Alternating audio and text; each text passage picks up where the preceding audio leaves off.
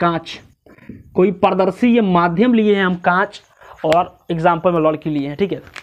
तो हई जो है, लड़कवा यानी कि अद्वैत प्रकाश जो है जब ये देखा है कांच को, मैंने एक लड़किया को देखा है, पूरा चमक रही है, तवा की पेन की तरह, ठीक है?